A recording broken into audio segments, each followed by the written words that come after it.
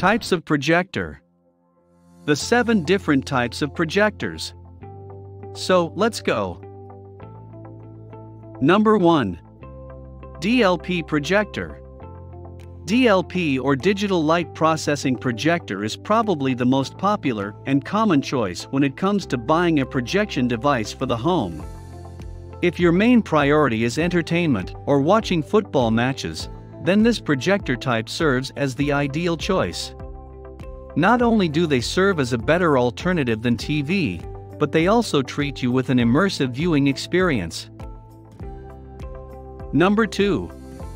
LCD Projector Beside DLP, LCD projection systems are another projector type that many people prefer primarily due to its ability to deliver sharp images and accurate colors at a decent price range. Liquid crystal displays use a simple configuration where they make use of polarized mirrors that pass and reflect specific colors through them. Number 3. LCOS Projectors LCOS projector is not a popular choice when it comes to buying a projector. But if you want to experience theater-like image quality at your home comfort, then nothing can match the quality of LCOS projectors.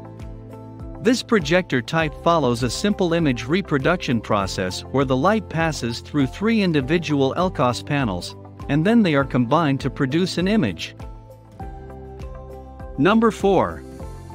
LED Projector If you are looking for a complete package with decent image quality and terrific durability, then LED projectors to serve as a great choice.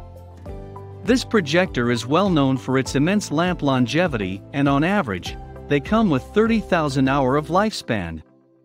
They are designed in such a way that neither you will have to opt for maintenance, nor will you have to replace the bulb. Number 5. Laser Projector A laser projector is an uncommon choice when it comes to buying a projector, as it is a new concept in the market. Lasers serve as a light source that is coupled with a DLP or LCOS projection system, and together they create a terrific image quality. Number 6. Slide Projector A slide projector is a unique type of projection device that is mostly used for viewing photographs on large screens. It is designed using a reflected, bulb holder, and a focusing lens, and together, they produce images through optical and mechanical processes.